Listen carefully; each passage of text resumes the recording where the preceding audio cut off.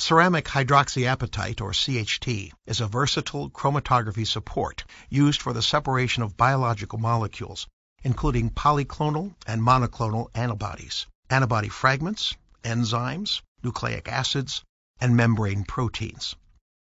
CHT is a spherical macroporous form of hydroxyapatite. It is a mixed mode support with functional groups consisting of pairs of positively charged crystal calcium ions, or C sites, and clusters of six negatively charged oxygen atoms associated with triplets of crystal phosphates or P sites. This diagram demonstrates the interaction of carboxyl groups and CHT. Note the metal affinity interaction between CHT, C sites, and carboxyl groups, and the repulsion of carboxyl groups from P sites. This diagram demonstrates the interaction of amino groups with CHT.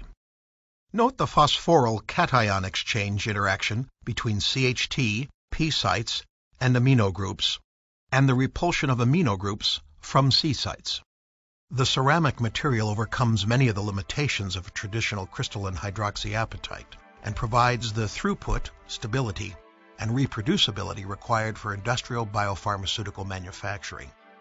It has unique separation properties and unparalleled selectivity and resolution. The mechanism by which proteins interact with CHT is multifaceted.